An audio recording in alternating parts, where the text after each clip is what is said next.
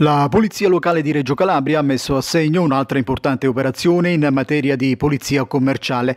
Grazie infatti a specifici servizi organizzati nell'ambito del progetto Focus on Drangheta, personale del servizio operativo è riuscito a individuare e sequestrare una cospicua quantità di merce contraffatta. Per la precisione, 644 pezzi tra CD, scarpe, borse e abbigliamento sportivo, recanti i marchi delle più prestigiose griff, tra le quali Louis Vuitton, Prada, Adidas, Chanel, Nike. La merce posta in vendita da due extracomunitari è stata abbandonata dagli stessi che, avvedendosi dei controlli, sebbene svolti dagli operatori in abiti civili, si davano a precipitosa fuga. Il bottino è stato recuperato e sottoposto a sequestro penale a disposizione dell'autorità giudiziaria.